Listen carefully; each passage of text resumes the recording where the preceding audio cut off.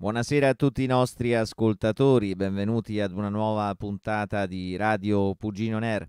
Eh, parleremo di un'intervista molto interessante, quella di Giuseppe Conte, leader eh, del Movimento 5 Stelle. Eh, l'intervista di questa sera eh, sulla 7 da parte di Enrico Mentana nel suo speciale L'ultima parola. Oggi 7 giugno 2024, eh, l'intervista di chiusura di questa campagna elettorale per Giuseppe Conte ed il Movimento eh, 5 Stelle, uno dei maggiori competitor in queste elezioni europee che si terranno eh, domani sabato 8 giugno e eh, domenica 9 giugno. Noi saremo qui per raccontarvi in tempo reale tutto ciò che accadrà. Aspetto nei commenti del nostro podcast eh, i vostri, eh, scusate, i vostri commenti sotto al nostro podcast per discutere ancora poi insieme eh, dei temi sollevati da eh, Enrico Mentana, delle risposte che ha dato Giuseppe Conte. Ne discuteremo appunto dopo questo episodio nei commenti del nostro podcast. Ma ora addentriamoci in questa intervista che ha visto protagonista eh, Giuseppe Conte, eh, il leader dei 5 Stelle alla vigilia de, di queste cruciali elezioni europee.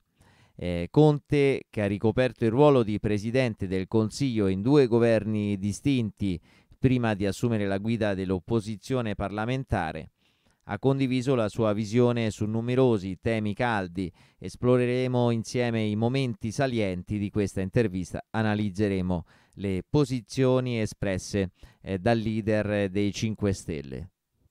Iniziando con un tono riflessivo, Enrico Mentana ha introdotto Giuseppe Conte facendo notare come questa fosse la prima campagna elettorale che Conte affronta come principale figura dell'opposizione parlamentare, una campagna ben diversa da quella del 2022, quando Giuseppe Conte esordiva da leader, ma con un passato recente da capo di due governi consecutivi. Questa è la prima volta che lei fa una campagna elettorale da figura principale dell'opposi- dell'opposizione parlamentare, eh, dice eh, Rico Mentana, come ha trovato il popolo dei 5 Stelle? E Conte ha risposto con, una, con un'analisi della situazione italiana eh, molto approfondita, descrivendo un, un popolo molto sfiduciato, in sofferenza, e afflitto da incertezze economiche e sociali. Ha sottolineato quanto sia cruciale comprendere l'importanza del voto europeo, poiché molte delle decisioni che impattano sull'Italia, sui cittadini, vengono prese proprio a Bruxelles.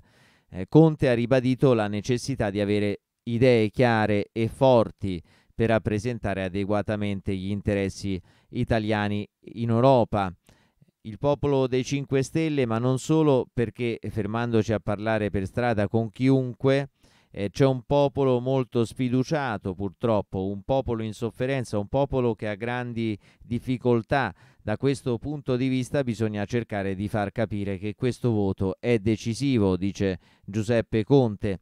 Passando a temi di politica estera, Conte ha espresso una posizione netta contro l'escalation militare in Ucraina ha criticato duramente la strategia attuale, sottolineando i rischi di un coinvolgimento sempre maggiore che potrebbe portare a una pre- partecipazione diretta, eh, ad una precipitazione degli eventi ehm, e i giovani italiani potrebbero essere davvero chiamati alle armi nel conflitto. E Conte ha menzionato le parole di Macron come un segnale preoccupante e la mancanza di combattenti in Ucraina potrebbe portare ad una chiamata alle armi più estesa.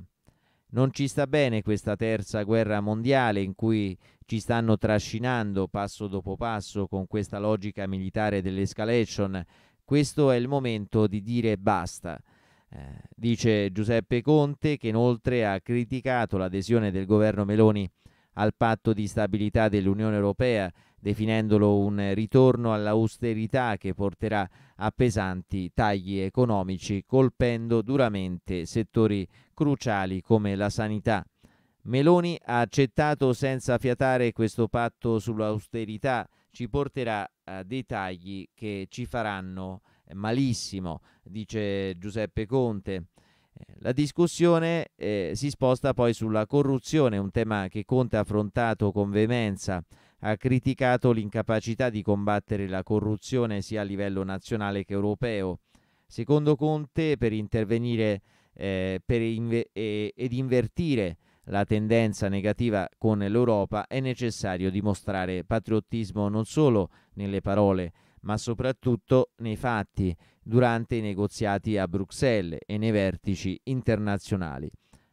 Si inverte innanzitutto dimostrando di essere patrioti non eh, la domenica quando si sta in famiglia, ma patrioti quando si va a, a Bruxelles, ai tavoli di Bruxelles, dice Giuseppe Conte che ha accusato il governo Meloni di aver rinunciato a combattere accettando senza riserve la proposta franco-tedesca, senza proporre alternative valide.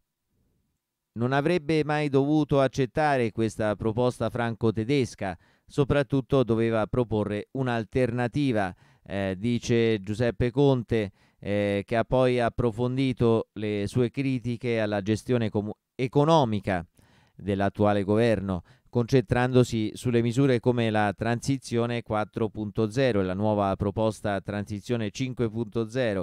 Ha sostenuto che queste iniziative sono state implementate in modo inefficace, senza un reale sostegno agli imprenditori italiani, portando ad una stagnazione del sistema produttivo del paese hanno fatto la transizione 4.0 ma senza una misura per rilanciare la crescita del nostro sistema produttivo, dice Conte. Parlando delle recenti accuse di truffe relative al super bonus, Conte ha difeso la misura spiegando che la maggior parte dei presunti danni all'erario sono in realtà bloccati eh, ancora prima e non si traducono in perdite effettive eh, per lo Stato. Eh, infatti, eh, nel momento in cui poi si va a chiedere se ci sono appunto eh, se si tratta di questi casi, nel momento in cui si va a chiedere rimborso per le spese fatte, questo rimborso naturalmente non viene dato, per cui eh, è, è, tutta una farsa eh, quello che si dice, che dice la Meloni e il governo eh, su questo bonus di Conte. e ha invitato, Conte ha invitato il governo a studiare meglio eh, a studiare, soprattutto ha detto alla Meloni più volte studia, ehm, eh, perché naturalmente lui anche per, essendo professore eh, proprio eh, di, in questo campo direi che ne sa molto di più eh, di Giorgia Meloni. Dunque ha invitato il governo a studiare meglio le dinamiche fiscali e l'ha accusato, accusato la Meloni di diffondere false informazioni eh, guardate che il direttore dell'Agenzia delle Entrate ad aprile è andato al Senato e lo ha spiegato, almeno potrebbero leggere la relazione che c'è stata, dice Conte. La conversazione è poi tornata alla politica estera, con un focus particolare sulla crisi a Gaza. Conte ha criticato aspramente il governo italiano per la sua neutralità e ha espresso vergogna per l'astensione dell'Italia nelle votazioni delle Nazioni Unite riguardo al conflitto israelo-palestinese. Il massacro a Gaza, la carneficina inaccettabile, un governo che per tre volte si astiene, non si presenta all'Assemblea delle Nazioni Unite. È inaccettabile, dice Conte. Ha dichiarato che la situazione a Gaza rappresenta una violazione del diritto internazionale umanitario e ha assistito sulla necessità di una pressione internazionale per fermare le azioni del governo Netanyahu. È un crimine di guerra, è violazione eh, palese eh, del diritto internazionale umanitario. Va interrotto, dice Conte. Eh, questa intervista ha offerto uno sguardo approfondito eh, sulle posizioni di Giuseppe Conte sui temi cruciali come economia, politica estera e gestione del conflitto in Ucraina e a Gaza. Mentana domanda anche del conflitto dunque eh, Ucraina-Russia e Conte ha espresso preoccupazione per gli aiuti militari eh, che sono stati mandati e ha spiegato che sebbene fossero stati approvati all'inizio con difficoltà, erano visti come funzionali a promuovere una de-escalation e questo c'era scritto insomma ehm, in ciò che hanno anche votato i 5 Stelle. Eh, dunque erano funzionali per aiutare sul momento l'Ucraina e poi promuovere una de-escalation, avviare negoziati di pace in linea con il principio costituzionale italiano che ripudia la guerra, anche se a quel punto le armi comunque non gliele dovevi dare, secondo me, no? Però metti, è stato un errore, ok, eh, una svista. Ma Conte poi ha criticato il governo Draghi per non aver preso l'iniziativa di negoziati di pace e ha accusato successivamente il governo Meloni di seguire le direttive di Washington e Londra. Ha menzionato la possibilità, subito dopo l'aggressione, di un negoziato di pace a condizioni onorevoli, ma ha lamentato che le posizioni più aggressive abbiano prevalso. Riguardo il sostegno europeo a Zelensky, eh, Conte ha affermato che farà di tutto per cambiare la strategia attuale che considera fallimentare. Ha espresso preoccupazione per il futuro dei giovani, immaginando un futuro in cui i nostri ragazzi potrebbero essere chiamati a combattere e ha ribadito la sua posizione a favore di una difesa comune europea, pur riconoscendo che ci vorrà tempo e una politica estera comune prima, eh, prima di realizzarla. Conte ha concluso riflettendo sulla necessità di una strategia più integrata per l'Europa, sia in termini di difesa politica estera, eh, sottolineando che un esercito comune non avrebbe senso senza una politica comune dunque. Ha enfatizzato la necessità di contrastare le politiche di austerità attualmente predominanti, proponendo una direttiva europea che riduca la settimana lavorativa a 32 ore mantenendo gli stessi livelli salariali.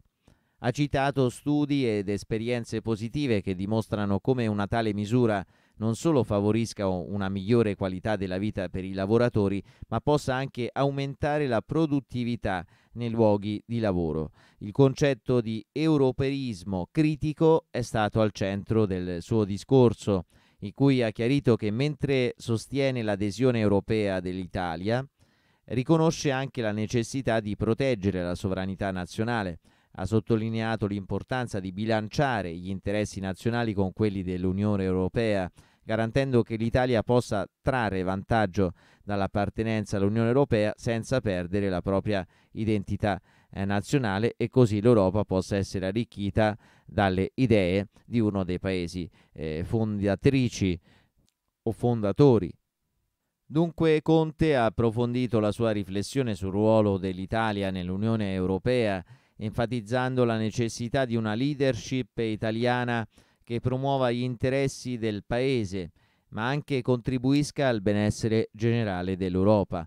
Ha fatto riferimento alle politiche di bilancio, alla cooperazione internazionale e alla gestione delle crisi come aree chiave in cui l'Italia può giocare un ruolo significativo. Infine Conte ha condiviso alcuni nomi chiave delle liste del Movimento 5 Stelle per le elezioni europee, evidenziando figure impegnate nella lotta contro la corruzione, nella promozione dei diritti sociali e nella parità di genere.